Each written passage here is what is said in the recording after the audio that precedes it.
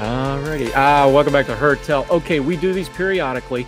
We take a minute, we talk mental health because if you lose your mind, what's the old uh, Kipling thing? Keeping your head while those around you lose it. We're going to try really hard not to do that because we're going to talk to Dr. Katie Gordon, who has once again returned to Heard Tell to try to help us navigate the anxious times we all live in. Dr. Katie, how are you, ma'am? Great to see you again. Great to see you too. Thanks so much for having me back and for prioritizing mental health on your show.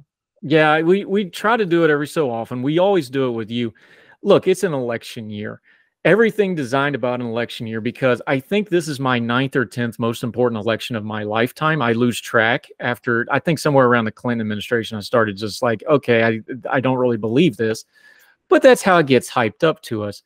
It's important, but we're going to hear this over and over and over again we know there's things like winter blues, right? People get sad in the wintertime. We know there's there's seasonal stuff. Is there such a thing as political election year anxiety? Is that a diagnosable condition? Because it sure seems like people suffer from it. It's not technically in the diagnostic manual, but I think it is a real phenomenon that you are talking about. I mean, I think that we've certainly seen this in recent elections that it, it's it can be tense and stressful for a lot of people who are engaged in kind of keeping posted on all of the latest news. Yeah, and the thing about news, we've talked to you before about uh, this, but you're really good at explaining this. I think it's just yelling at your clouds to say social media is bad for your mental health. Social media is just a fact of life now. It just is. I've watched my own kids grow up uh, almost completely in the social media age. No, it's not all bad yes, there's some legitimate concerns. Give me a ratio breakdown of that, though, because I think we just scream the buzzwords and miss out on it. We've talked about it at length before that, you know, there's social media is like anything else. It's a tool, there's good and bad. Give me a ratio though of what you're hearing and seeing, you know, both with your colleagues, because I know I know the community that you're in of the experts, and you are an expert. They're talking about this on end though, but give me a ratio of it. What is it good to bad, do you think? Because people are just beating this thing to death as a buzzword, but it's just reality for an entire generation now. Yeah, I, I think that's a really good point. I mean, I, I think there are, it's a polarizing issue, and there are a lot of people and research, to be fair, that can highlight some of the potential mental health harm that social media can do. And then there is also some research suggesting that it can cause benefits related to mental health. And so what I my my thing is is I think there is so much individual variability and individual difference and I think it's really important for us as parents or caregivers supporters to keep an eye on our children and see how their mood is being impacted and just kind of see how they're being impacted by it because you know we can see on one hand if they don't have any social media they could feel excluded or left out. Um, on the other hand if they're on it too much they're making comparisons to other people they can also feel left out or bad about themselves. So really i think that we have to kind of look at our own feelings the consequences and effect of social media and try to set boundaries for ourselves and then as parents try to set boundaries for kids and so i, I it's kind of not a hard and fast rule for every person Dr. Katie Gordon joining us. I want to go the other direction though, because we're always beating up on the kids because that's easy and because that's that's the monetizable group, right? Concerned parents. They spend right. a lot of money on their concern, right? We'll talk about that some other time. I want to go the other way because we've got all this data now. I was just doing a program on this where the median age of news network viewers for CNN, MSNBC, and Fox is like 70, 69, and 71. Well, there is a thing going on. I talk to peer, this isn't scientific study. I, this is all you know anecdotal, but it's it's too much to ignore. This thing with the older generation getting more and more into a TV hole as they age. I've seen it with my own parents. Look, my my dad had a stroke on New Year's Day, so I was in their home constantly for about two months. I basically moved back in with him while he got back on his feet. He's doing very well now. Oh, okay. But I see in their peer group, you know, that over 70, dad 77, mom 76. I hear from so many people my age in our mid 40s, our parents like, man, all they do is watch news all day. We don't talk about that demographic, but there's all these data set. I am obsessed over things like Alzheimer's and Parkinson because it runs in my family and I've already got a brain injury. We got all the data in the world that the worst thing you can do for an elderly person is let them watch TV all day. It's not good for them. How come we don't talk about that? Because that's definitely a thing that's going on now. We're talking about social media. The older generation is not exactly adapting great. We should talk about that part of mental health too, shouldn't we? Oh, absolutely. I think that um, you know, as as the lifespan, the average lifespan continues to get longer or um, stay longer than it was decades ago, I think we really need to think about, like you said, those of us who are kind of middle aged, some of us are caregivers already um, and care about our parents and thinking about them, but also for our own lives as we age. And so you're right. I think that there is a lot of focus tends to be on youth and younger people, and that's probably been true for a long period of time. But we know that older people can be at higher risk for suicide and loneliness and other types of physical mental health issues that may be negatively, um, I would say, kind of exacerbated by watching, consuming TV versus doing other things, connecting with people. And we also know that um, news, TV news networks can also be polarizing and cause problems for people um, conflicts that might further break up relationships or alienate people.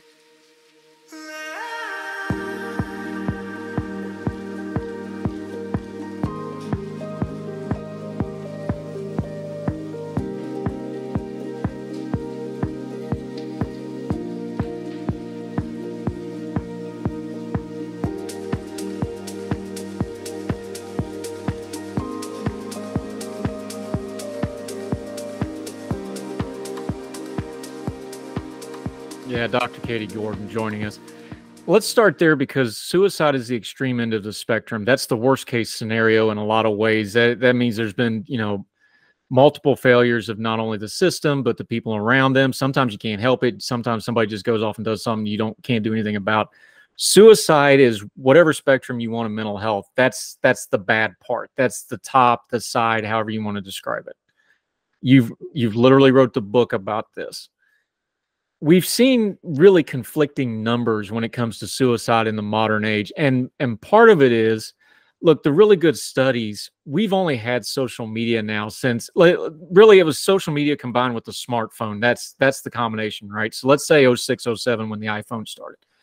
So really we've only had about 15 20 years of this less than 20 years of this. We don't even have good data sets really right? We're trying to learn this on the fly all this conflicting information when it comes to su suicide stats. What's the one or two pieces of information people should know about suicide when it comes to our modern age of social media, modern media? Just give us one or two good pieces of information that we know because there's a lot of conflicting information about that. You're right, and you make a really good point. One is is not having decades worth of data. But another piece of it is that suicide is complex and there are so many individual pathways to get there. I know I really emphasize these individual differences, but important things to know in terms of how social media can impact suicide or suicidal thoughts. I, I really think that we know from decades of, of research too that a robust protective factor against suicide is feeling connected to people. And so sometimes social media really enhances that. You know, for example, I was just messaging with some friends back in North Dakota, which I moved away from North Dakota into Massachusetts, and it helps enhance us keep in touch. Next time I go back, it, it helps us to plan visits. All of that stuff is probably easier than it would be without social media. However, the other side of it is that sometimes if people are getting all their social needs met on social media, and not following that up with some in, in-person interactions or strengthening connections, then they can still be at risk for that loneliness piece, and that can be really tough. That's one thing that stands out. And then, okay, and then the other thing that I just want to mention, so it's kind of a balance of prioritizing still having some in-person connections. And then the other piece of it is what are people doing on social media? So if you're doing something, for example, um, you know, that looking at a lot of people who are focused on weight loss or um, certain body types, and you're watching a lot of those on social media, and feeling bad and comparing yourself. Uh, that can increase your risk for mental health problems. Um, it can increase maybe thoughts that you're not worthy person and it can just make you in a worse mood and so i do think it's important i encourage people to curate their social media needs and think um, their social media feeds and really think about intentionally what they're exposed to and also consider putting constraints and boundaries on it if they notice that they're starting to feel worse or fixate on things that they've read yeah, we Dr. Katie Gordon joined us. We talk about things like you know politics and stuff. And I'm going to get back to that. And we always talk culture and um, you know things in media, as in new, you know, not just news media, but movies and TV shows with you and things like that. But that curation part really has a lot to do with this. We talk about things like adolescent girls. All daughters, so I'm a little touchy that one. An area that you're an expert on, frankly. I know you probably don't like me saying that, but more than me something like an eating disorder and social media, we do know that that has a toxic mix to it. Things like that. Just using that as an example, because you've wrote and lectured on it. Um, I think you even did some undergrad work on it in your thesis, if I remember right. Something like an eating disorder where all of a sudden food is in your feet. I'm guilty. I do Twitter Supper Club. I put a lot of food. To me, that's something that makes my life better, though. But I could see where somebody else that would be a problem when you talk curation, use that example because that's a pretty quick, clean example that people can understand. Like, oh, eating disorder, seeing food nonstop, that can be problematic, and how to actually affect change and be healthy with that sort of thing. Well, first of all, I'm amazed at all the stuff that you remember know about my background. So, so uh, I looked it up. My brain ain't that good. I got brain damage too, but I look it up for you. I do try to prepare somewhat no, it's it's really impressive. I so Twitter's Supper Club is a perfect example of a positive social media experience because what people are doing is they're just sharing the meals and the joy surrounding them. The things that I get concerned about related to eating disorders or people are talking about what I eat in a day and it's a very restricted not enough food or it's ruling out food groups like carbohydrates or something like that. And it's creating this image of um, food as something that is not something to be enjoyed or part of nourishment, but rather something that you do to change who you are. That's what I'm concerned about, as well as um, some you know there are products out there that influencers can can go on TikTok or Instagram and talk about that talk about promoting weight loss, and they can have hazardous effects on people.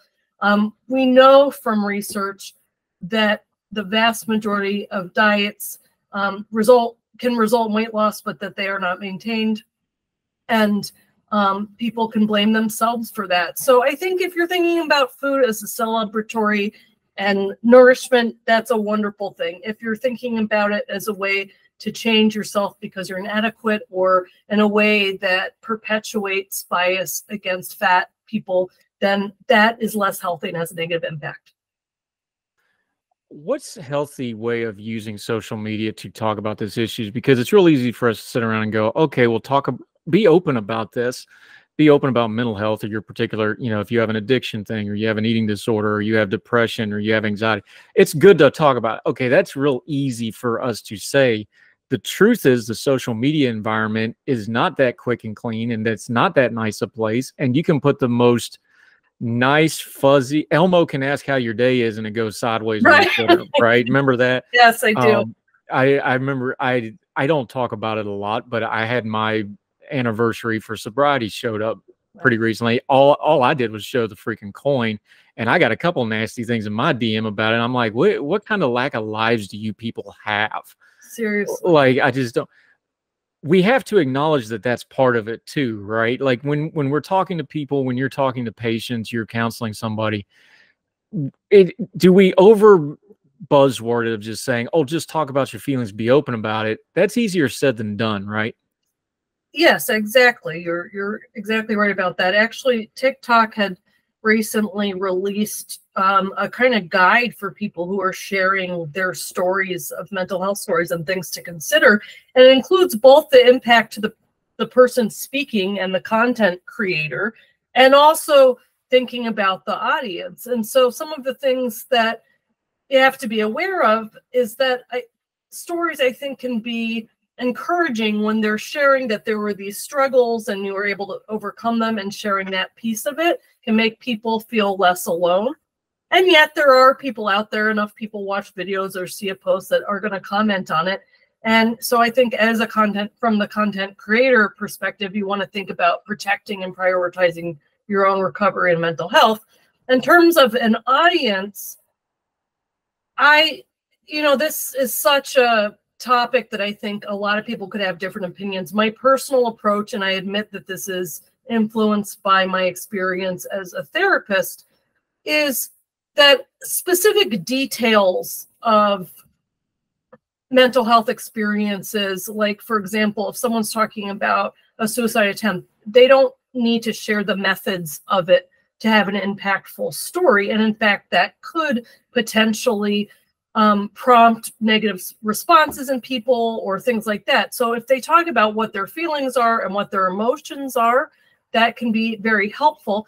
And I want to be clear, I'm not saying people shouldn't be able to say whatever they want. They can. I'm just saying that there are certain types of things I've noticed. So, like in certain types of therapy, there might be guidelines that the therapist is considerate about in terms of if you're talking to someone who's had an eating disorder and you as a therapist has had an eating disorder, you might talk about some of the feelings you have, but maybe not go into the details of the specific behaviors you did that harmed your body, because that might not be useful to them.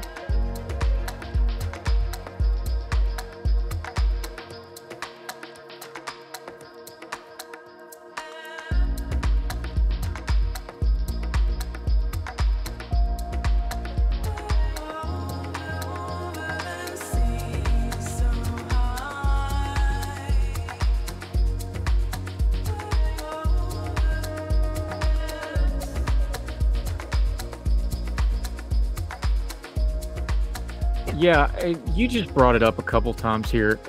In your peer group, when you go to go to conferences, when you're doing, you know, peer review stuff now, is there talk about content creators? Because I don't think we have any kind of a comparison to what content creators are doing now. I guess you could talk about maybe the old talk show host, but it's such a much smaller number than what, you know, Sally Jessy Raphael and Donahue are nowhere near what we got. Oh, even Oprah um, which I know was a was a bit of a mental health touch point for a long time. There was controversy, mm-hmm. like how much is she helping, how much is she hurting. The numbers are just staggeringly small compared to what content creators can do now. Is there talk amongst your peers, the experts, the therapists, the people that are trying to do good, of like, we've got to rethink how we're doing everything because our competition now is not TV and it's not radio, it's not even the internet, it's these influencers that discussion has to be going on, right? Oh, absolutely. I think one of the big things that um, you've probably seen, and one of the big discussions is people who are diagnosed, self-diagnosing based on TikTok. Um, and in some cases, I think it can be really helpful to hear content creators like have people share their voices and their stories and have the audience recognize, oh, that might be what's going on with me. I'm going to go get evaluated. And in other cases, I think that there is this incentive for content creators to say things that get more views or that are relatable and to sustain that. And some of them have misinformation. They're just not, you know, they're not, um, what's the word I'm looking for? They're not screened for accuracy most of the time, right? And so I think it can go both ways where it's a true gift that people who didn't have voices before can reach others and that can help spread information. But the downside is it also can spread misinformation. So one thing that I do like that I've seen a trend more of in schools is having speakers and programs talk about critically thinking when you're looking at social media. I don't know how impactful those programs always are, but I'm glad that they're there and therapists are definitely talking about these things. So what do okay, that's the therapist level. Mm-hmm. What should the audience level be looking at when they see content creators because there's more and more of them. I don't the screaming ad ones are kind of easy to pick out because they're they either go heavy on the bro culture and the guy's just right. screaming at you and that that kind of advertising drives me nuts. Or you you know, you get the lady with the front facing camera in her car. That stuff's kind of easier to pick out, right? Yeah but give us some guidelines here because you are just inundated with content and part of the thing with the content creators is if they're doing it right you know they're supposed to sound just like us. They're not supposed to sound like a doctor. They're not supposed to sound like a talking head on tv that's both the blessing and the curse of the content creator. Give us a couple things to try to discern through that.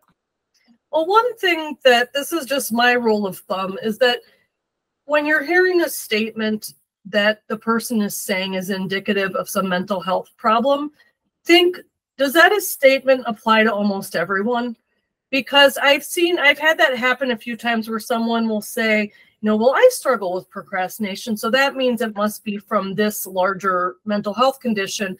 And yes, there are people who have it at an extreme level, but most of us struggle with procrastination. So if it's kind of a generic statement, one test to do is think like, would 95% of people relate to this statement? And if so, then maybe it's not something that is um, indicative of a mental health problem. It's still something to work on. But what I get concerned about is that sometimes it's saying you definitely have blank disorder if you do this, right?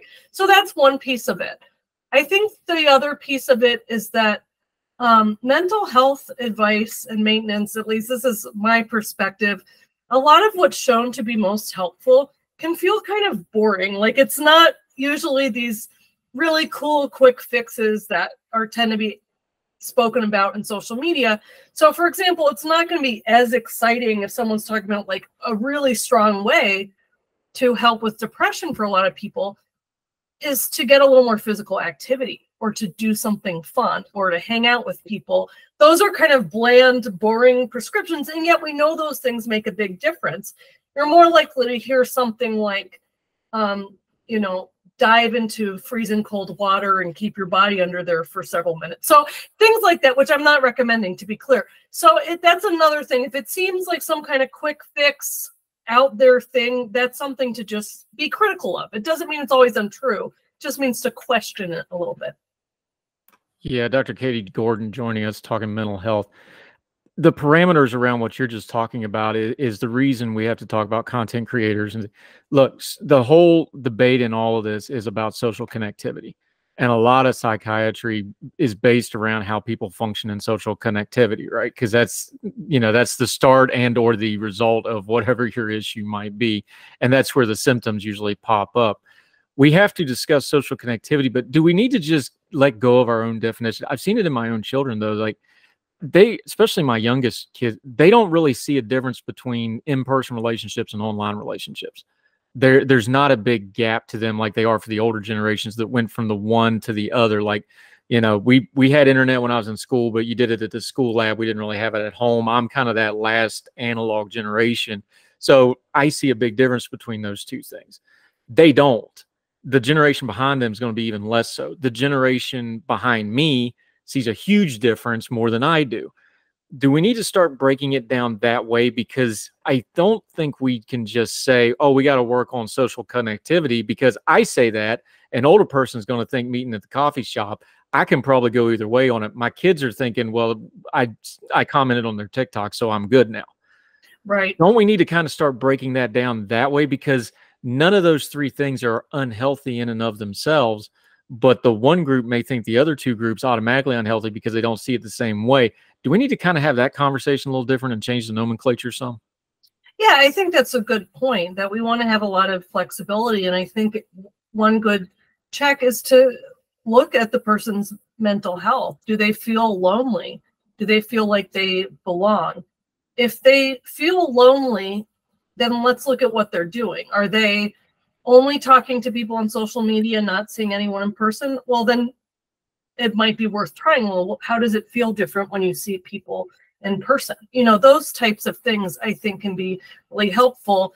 And I don't think we're always aware of that. So sometimes I think it's helpful to just track it, you know, rate your mood from one to 10 for a week on days that you, and then compare days that you see someone in person versus days that you're only connecting on social media or you know different levels of that. I think it's important to be curious and look at that because i know like for example i might say well i'm an introvert and i and i work from home virtually and i don't i don't need to see people in person that much. And yet i can't deny that when i meet with people from work in an in-person meeting it's different. Something is different about it And so that's me. I don't, but I don't think I'm alone in that. So I guess what what's really important is to just, like you said, be flexible, look at the mental health, look at the feelings of connectedness, and go from there.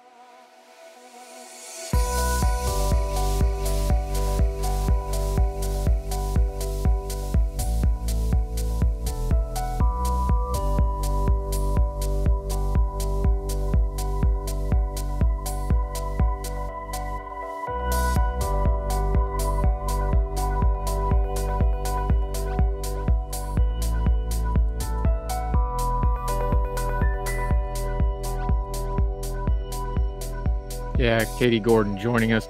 We always ask you this. I'm going to ask you like we always do.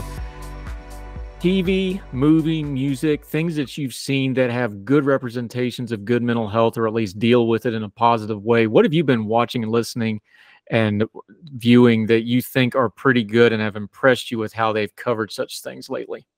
It's a great question. I'm trying to think about the recent things I've seen, and they're they're mostly old. So I've been rewatching Frasier, and then I went to. It's funny you mentioned that. I talked about being up at my mom and dad's. Mm-hmm. I was watching. I'm talking old stuff, black and white Mm-hmm. uh, wagon train episodes. If if that's a western for you young kids, go Google it. but they there was these old westerns, and um, there was an episode of Gunsmoke where these guys that were uh, Civil War veterans and. They didn't call it this, but it was a PTSD episode. Wow. It really was. Like when you think about it, because what it was was they had kidnapped this guy that everybody thought was the upstanding member of the community. This is a black and white Gunsmoke. This is early, like Burt Reynolds is on it. Nobody knows who he is. These are the early. The the local guy in town turned out to be the guy that ran their prison camp, and they were prisoners of war, and they're torturing him slowly. And they literally made a cage and put him in a cage because they wanted him to experience what they experienced it was a PTSD episode. They just didn't call it that. And you know, Dillon's got to go out there with, you know, he goes out there and he's talking to me, and he's finally like, like, no, you can't do this. You have to let it go. You have to deal with this. Look at him. You're starving him to death. Look, at you know his wife. You know. I've been kind of surprised. There was an old Waltons one where a guy came back during war. They had the World War II episode. And a guy came back from the Navy and he was different. Mm. And they were like, man, he's just different now. And he's like, I've been out on these ships. You don't understand. I was in the South Pacific or whatever.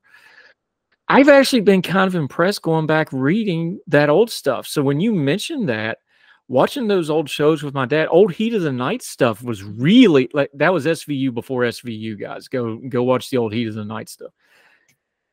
Maybe I misremember it. Some of that old TV show did a lot better with it than I think I remember or that I think I gave it credit for at the time. Oh, you're so right. Actually, you're, you're reminding me that I watched um I think it was was the Bob Newhart show. It was Newhart, right? Where he's the therapist. There was and he- three of them to be fair of them, so Yeah. it's hard to pick which one's which, right? yes, and, and that one ending was linked to the other show. So it's all the famous ending of that. So anyway, um, yeah, so Newhart was taking patients who had fear of flying on a plane. And I'm like, that is exactly the treatment. That is the best treatment is exposure when someone's afraid of it. So you're right. It's kind of seeing some of the older stuff can kind of surprise you, but then again, it, it makes sense. I mean, that's when PTSD was first being identified and people were observing these things even without social media. And so of course it came up in, in film and TV shows. I think the best example, of course, is the old MASH because they were using Korea to talk about Vietnam. And Mhm. some of the audience now probably doesn't realize that. It's like, no, it's about the Korean War and it's and it's obviously shot in California because you can tell it's California, especially on the helicopter shots. But they were actually talking about Vietnam. And when you watch MASH from the beginning to the end, because it got a lot more serious in the later years. Some of that was Alan Alda became the creative, did a lot of the directing, and they steered it more serious. But if you watched a lot of that show, and we watched a lot of that in my household, especially reruns, I'm just old enough to remember the last episode and the hype of that and all that. I was really little. But you could see them almost working it out in real time of like, wait a minute, we're a comedy, but this is really heavy crap. Mhm. And then it got heavier and heavier and heavier. And by the time, and I watched this episode of my mom and dad recently, by the time you have Ron Howard being the soldier that lied about his age and they got to send him home, and and then Hawkeye outs him and sends him home, and he gets really mad. He's like, I'm going to hate you all my life. And he goes, Well, lady, people forget the cultural significance. Like, no, that's not Ron Howard. That's Opie. Yes, yes. That's mm-hmm. Opie from Andy Griffith. Mm-hmm. And the reason I brought that up because I know that's a huge generational gap though. We're starting to see overlap in these content creators. We're seeing these child stars grow up and they're becoming adults live on people who have literally been on YouTube and social media all their lives now. They're moving into adulthood. I'm starting to see some of that. And it's not as abrupt as that because you don't have 30 million people watching the same show every night Mm-hmm. But I think you're seeing the same kind of thing in real time of some of these content creators that started out as teen and young adults doing all the crazy zany stuff. And now you see them switching. And I don't know that people understand. It's like, no, every generation goes through this. The TV generation did it differently. They're going to do it differently. But this is a natural process. And that's something I thought about watching that MASH episode of like, oh no, this is that content creator that just did the cute video that everybody's seen yes. on social media and now he's an adult talking about something serious. That's part of our mental health though especially our societal mental health and our perception of it isn't it? Yeah absolutely. I, I think that is uh, exactly right on. There is a recent vox article on therapists who are content creators and how um, how what they create changes a lot um, or mental health. They don't always have to be therapists. And i think you're right. It's a natural progression but we're seeing it kind of in a different media, but the phenomenon existed before then. So you're good at, at putting things in that context and that history.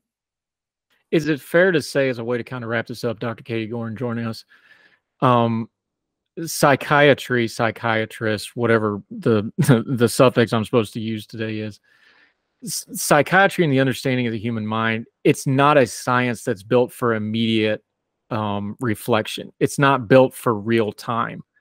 But the problem is humans are real time things and need real time care, especially in the social media age we're doing. Is there a little bit of just a gap of we have this scientific discipline, this medical discipline of how the human mind works and how we need to work on it through therapy and sometimes medication and things, but the urgency of it doesn't match up. Is that a fair? I think criticism is not the right word, but I think that's the gap that you folks as the professionals and us as the patients, because I'm a mental health patient, I think that's the gap that's just built into the system right now. Is that a fair way to look at it? Absolutely. And a lot of us who are therapists have been or are patients too. And so I think we can I think you're you're right. This has been as long as I've been in was in grad school, which was a while ago now, and is a major passion of mine is how do we how do we share what we know from the science in practical ways? I mean, that's what's driven a lot of the work that I've done, both creatively and within my role, because we cannot just, we can't wait until we have perfect knowledge and share it in the perfect way, especially when other people are out there sharing mental health information and misinformation, right? So I, I think that it's important for us within the mental health field to think about okay, why, what's resonating about this content creator and what can we do to share accurate, helpful information through these media and use some of the same engaging approaches, which is hard. It is admittedly a very difficult thing, but there are people who do it well and that partner with um, content creators to, to share information, which is important. Yeah, my, my dad has a joke where he goes, I'm old enough to remember the ten thousand dollar pyramid, and some of my friends know the hundred thousand dollar pyramid, and then everybody younger than us is like, What's the pyramid? so um so here's the ten thousand, hundred thousand dollar pyramid question, million dollar question of all this. Are we going to be able to use this social media and the immediacy and news media and the new media environment that's still in its infancy, it's evolving? Are we going to be able to use that to bridge that gap in a healthy way? Because that really seems to be the crux of all this, right? We have this gap, we have the old science, we have the new immediacy.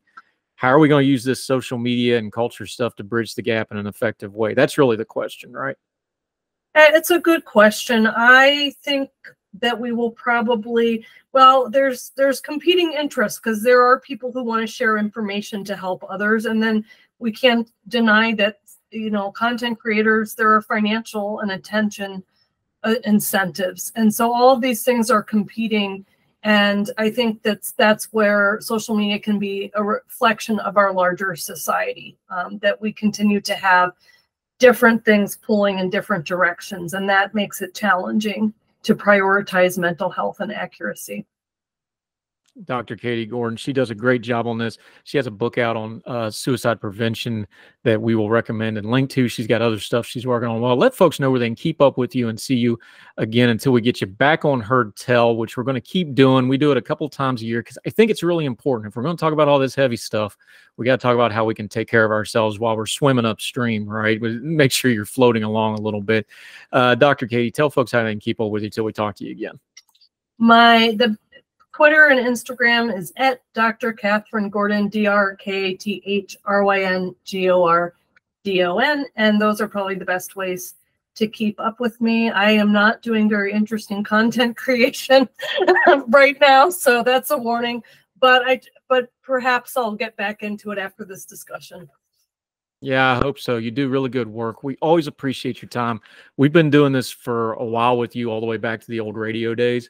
Yes. Uh, we're gonna we're gonna keep doing it as long as you'll put up with our silly questions because I think it's important. I think it's good to just have a normal conversation about it without you know kind of all the the noise and the heaviness and just because look, I used to be that guy. It took me a little while to talk myself into going right.